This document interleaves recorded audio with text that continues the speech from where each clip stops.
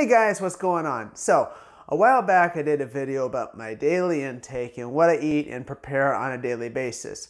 Well, that is still pretty much the same. However, there was one meal that I wasn't real happy with, and that was my post-workout meal.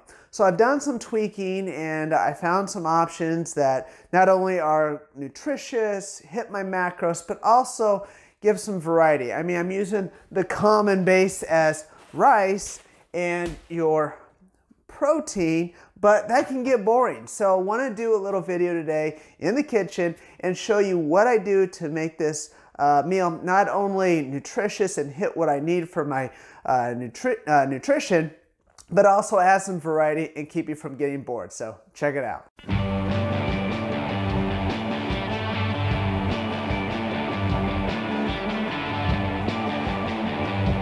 Okay, so first let me go through my ingredient list. So like I mentioned before, the base is white rice. Now I'm using white rice now because I'm actually trying to increase my intake uh, to help promote muscle growth and metabolism gain.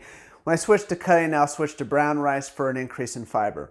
Uh, the next thing is my protein sources. So I have three protein sources that I go through.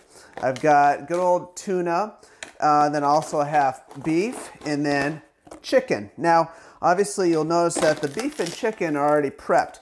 What I like to do on that is I like to cook that up in advance on the grill, add in a bunch of spices, really make it taste good, uh, portion it into the right sizes. For myself, that's four ounces, and then I freeze them so I can easily bring them out and throw them into the mix. Next thing is vegetables. So I've got a variety of vegetables here. I got broccoli, mixed vegetables. Um, I've got some uh, red or purple onions, whatever you like to call them, and then some peppers. And these are, you know, obviously cut up in advance and frozen for easy uh, preparation later. And then finally is the spices. And I've got a lot of different spices here, things that I've just experimented with over time. I like to add those in as we go, and I'll talk through that a little bit more. And then also a little extra virgin olive oil too, which I'll talk about next. So I work from home, and so for me, prepping this in advance uh, and each time I eat is not a big deal. So, you know, certainly the rice, you could certainly cook that in bulk in advance and uh, portion that out. But again, for me, and I think a lot of you at home, uh, you work from home, you have flexibility. I just measure it out and uh, cook it one batch at a time. So I'm going to put 60 weighted grams in there, just like that. Okay, and so today is a beef day, and so I'm gonna I'm gonna put in a little bit more water. I put in just a little bit over half a cup of water in here, just so I have a little bit more uh, fluid when I cook the beef. And I like to add some broccoli with my beef, beef and broccoli. So I'm just going to go ahead add that in there. So I'm going to put uh, 85 weighted grams of that in there.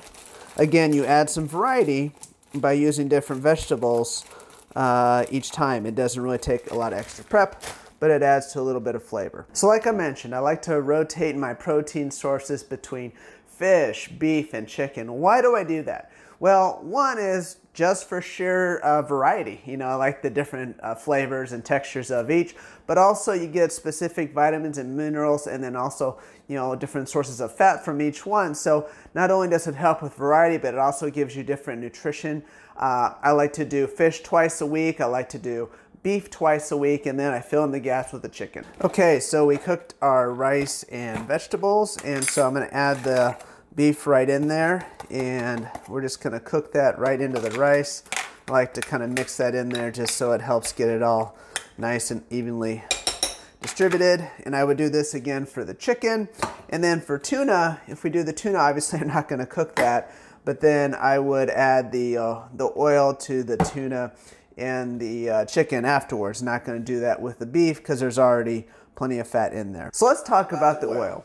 So, so like, like, I mentioned before, the oil, it depends on what my protein base is.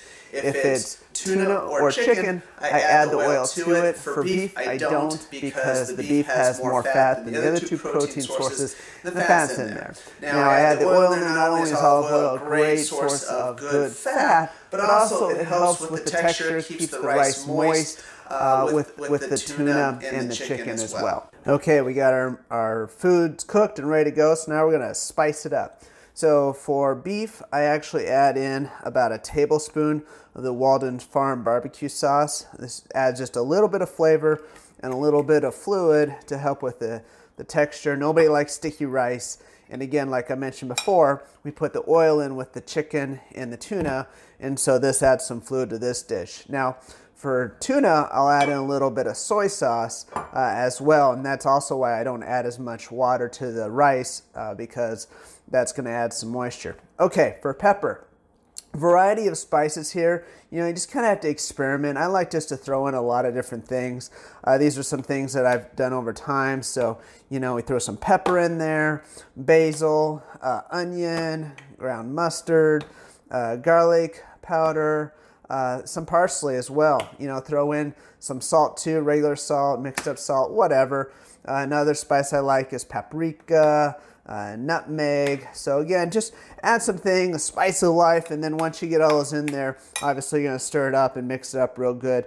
That way you make, uh, make sure you got a good, even distributed flavor. Now, in addition to this meal, I also have a protein shake that uh, I have with it. For me, it's only half a scoop away and just helps increase the amino acid content and also gets a few more grams of protein in the meal. So total macros with just the food alone is 30 grams of protein, 60 grams of carbs, and 15 grams of fat. Now, when I add in the half a scoop of whey protein, that bumps that up to about 45 grams of protein, which is great for me, what I'm looking for in my post-workout meal. Hey guys, thanks for watching. I hope you got something out of this video. Again, this is a nice meal that not only hits the, the things you need after a workout, but also gives you some variety and it's not too hard to make. So if you like this video, hit a, give it a thumbs up. Also, if you're watching this on YouTube, here's a link to my prior video that I did when I was going through my whole entire meal plan. And until next time, keep making every day count.